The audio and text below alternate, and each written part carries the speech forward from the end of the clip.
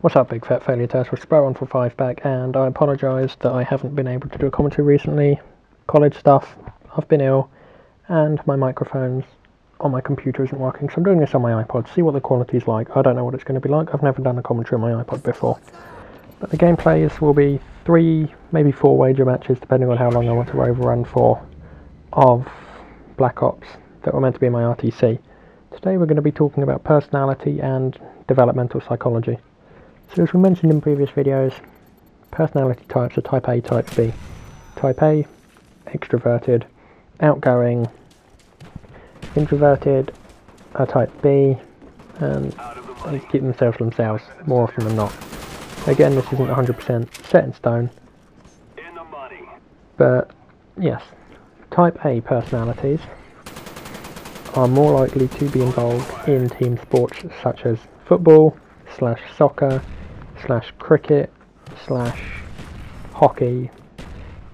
Introverted, more likely to go into, I don't know, marathon running, 100 meter sprint, gymnastic to a certain degree, tennis, so uh, singles tennis, because they've only got themselves to blame for when they lose. And whatnot. And so, type A people, type A personalities are extrinsically motivated, as we said before. They are more likely to want to win premiership titles and NBA championships and Super Bowls, stuff like that. Whereas intrinsically motivated people are more likely to go for personal bests. They want to set the fastest time for themselves that season. They don't want money, sponsorships and medals. So as we said, the need to achieve belongs with type A, the need to avoid failure is type B. Also, type A pe personalities, I keep saying people, I shouldn't, it's a type A personality, are more likely to show aggressive tendencies, whereas type B personalities are not. Now, for my take on this, and where I position myself, I'd say I fit quite comfortably into type B. But that's not true for every part of it. I'm introverted, yes. I'll keep myself to myself, yes. But I'm not intrinsically motivated. I don't want to go for personal bests. To a degree. I also do.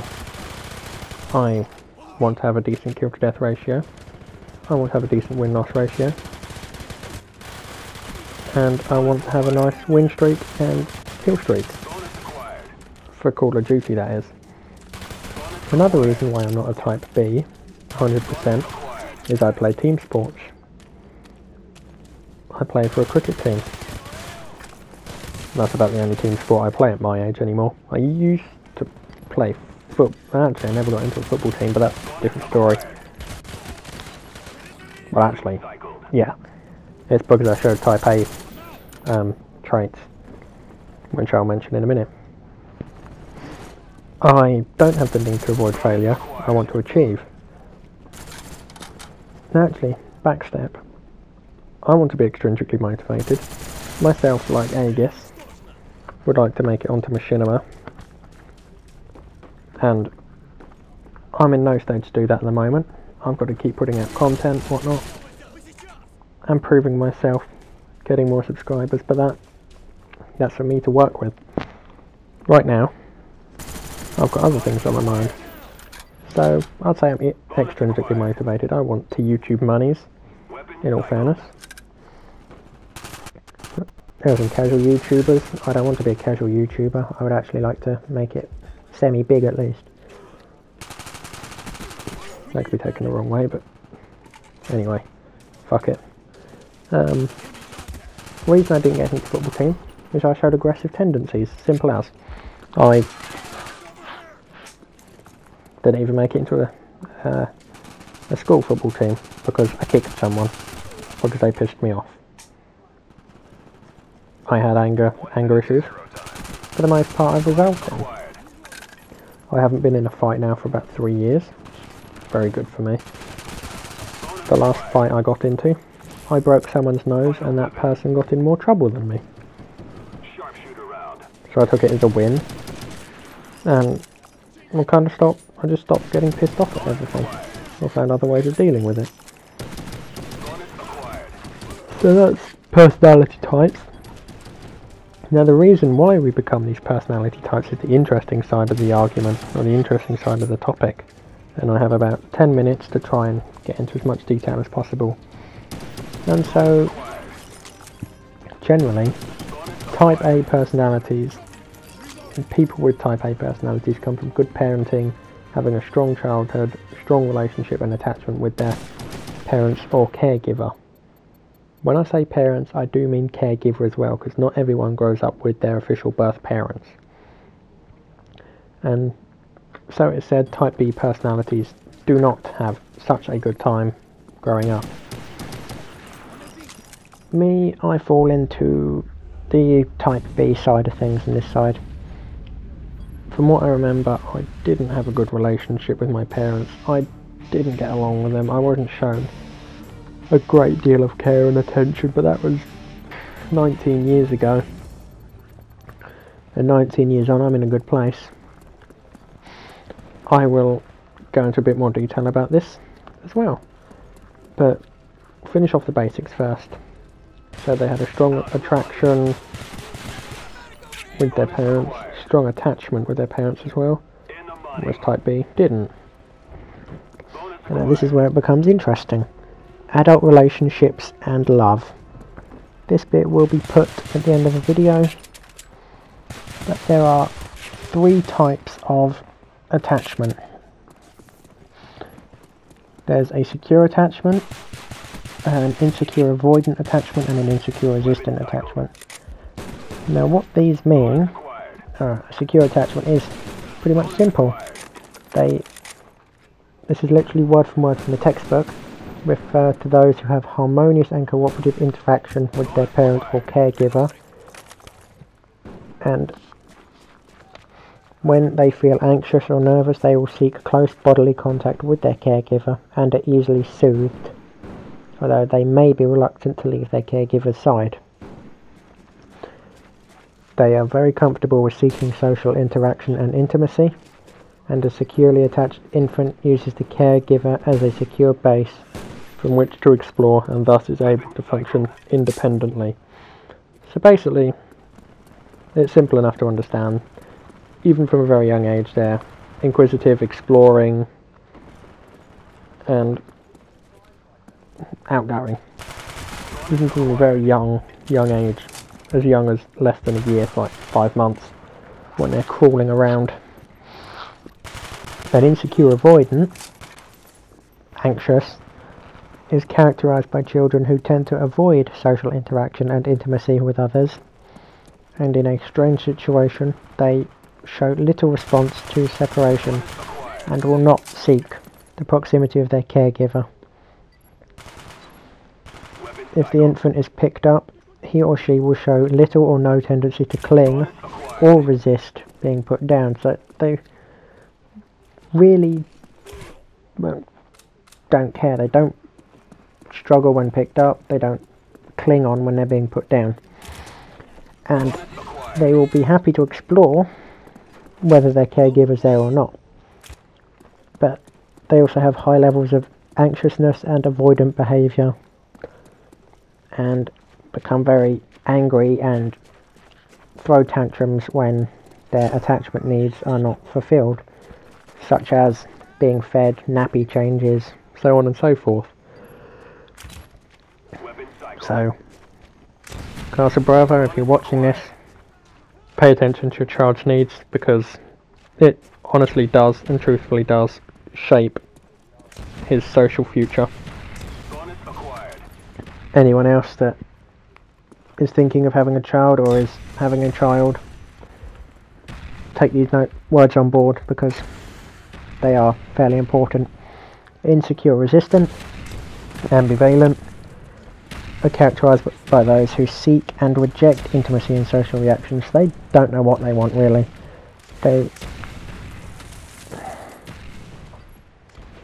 so a child will respond to a situation of separation from their caregiver with immediate and intense distress. However, on reunion, such ch- child or children display conflicting desires for and against contact. They may angrily resist being picked up while also trying other means to maintain proximity. They're, they're the awkward type of babies that do and don't want attention at the same time. The baby that you just can't satisfy and I would say you want to throw out of a window but that's a waste of human life. And a waste of nine months of nagging and moaning from your other half. No offense if I have any female subscribers. That's how it is. I'm sorry, I'm, I'm not really a sexist person or anything like that. it's just how I see it. um, and in terms of adult romantic behaviour and behaviour in a later childhood, let's see. Behaviour in a later childhood was this was done in 2006, so it's reasonably recent. Secure attachments are associated with positive outcomes, less emotional independent, no, less emotional dependence, and higher achievement orientation, as well as interpersonal harmony. so that means that basically they want to achieve high, which goes back to the need to achieve it all interlinks. Some of this stuff is sports psychology, some of this is developmental psychology. So it all links. None of this is really applied, but I can't think of anything to apply this to for video games. Well, I can, and I will try in a later video. I can do this as long as I want, really. Because psychology is such a deep and interesting topic, I want to be able to share it as much as I can. Um, avoidant attachment so that's insecure avoidance, is related to later aggressiveness and generally negative effect. So basically, they're the aggressive side of type B personalities, insecure avoidant, whereas insecure resistant is associated with greater anxiety and withdrawn behaviour. So that is the um, introverted side of type B personalities.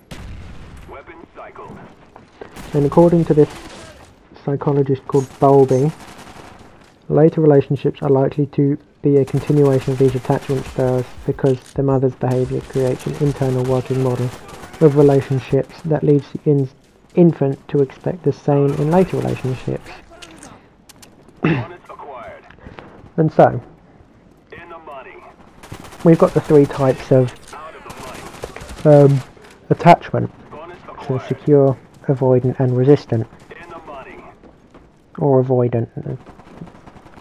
Or insecure, avoidant, insecure, resistant. There we go. Basically, secure adults find that their relationships are positive and that they trust and believe in enduring love.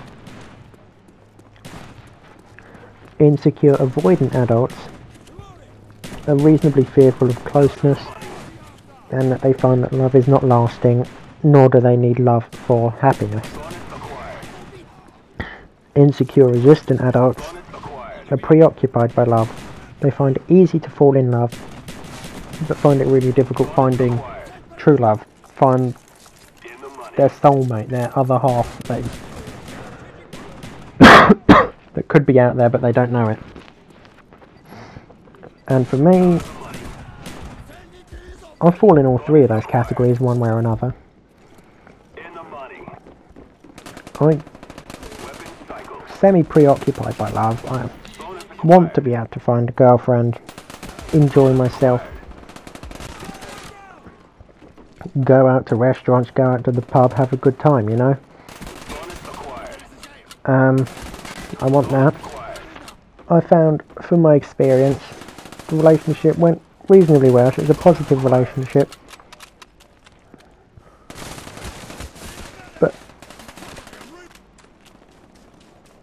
I don't believe that it's necessary for happiness. Well, actually, that's a lie. I was very happy when I was with my girlfriend. But it's sort of difficult. I found it very difficult trusting her. And I did half believe that maybe that was just me being young and naive that we'd end up getting married one day. That might have just been young and naive Tom though. I don't really know whether I fall in love easily. But we'll see.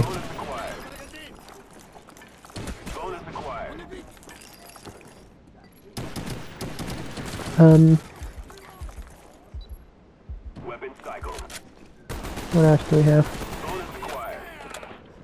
Got about two minutes left, so we'll try and find some more topics. I've scribbled some stuff down. Um, oh yes, um, me and personality types. So let me see. I'm introverted. We know that for a fact. But I play team sports, as I've mentioned. I, however, um, very. I I play Call of Duty with a team nine times out of ten, and you know that's a team game to an extent. You whack a full party out there, you're a team. Simple as. But I find it very difficult in um, social situations as I believe I've mentioned with